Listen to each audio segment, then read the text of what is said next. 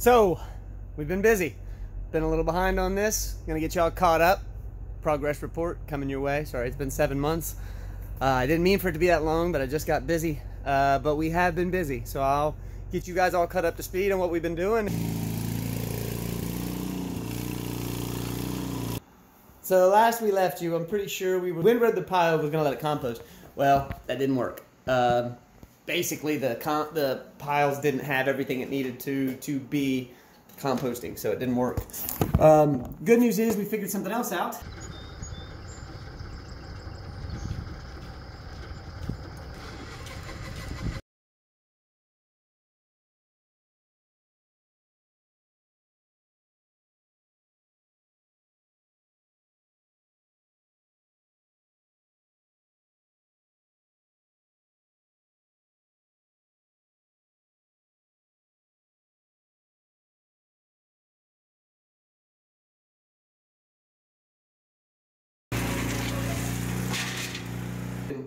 all the tarp. Yep. All right. What was I saying? So after we got everything ground, and after we got everything sorted, we went into fixing the greenhouse.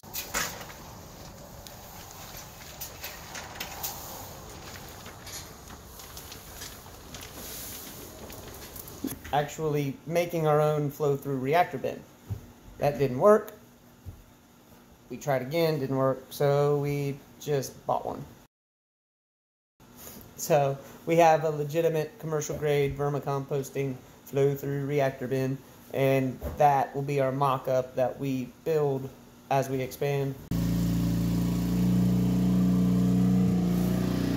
This is version 1.0. You guys have seen it in the previous videos. Um, this was basically just going to be the nursery and uh, get our numbers up and feed them in that. But there's no real way to harvest without dumping everything out and go.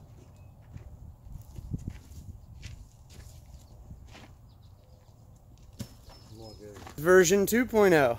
And so this was our attempt at uh, making a flow through reactor. This is a flow through reactor. So what you're going to have happen is there's actually a bar inside right there. That bar is controlled by these winches. So there's one on this end, and the bar goes through the bottom down here, and then there's one on that end. So, so what you're gonna do is you're gonna take your worm food and you're gonna put it in the top, and then as time goes on, this is going to get deeper, and then the worms will move up, and as they move up, the stuff on the bottom, the, the only thing that'll be really left is worm castings. So as it gets deeper and it moves up the bin, then that paper on the bottom will be gone. We can actually take the bar and slide it from one end to the other. That will cut those castings that are hanging below that. Great. Fall on the ground. We sweep them up and then we've got it.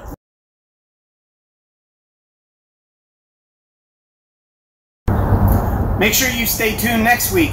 We've got a big announcement. Spoiler alert, we are actually a licensed vermicomposting facility. We'll show you all about it next week, tell you how we got here, from where we started, what all that meant, and what we had to do. Uh, have a great day.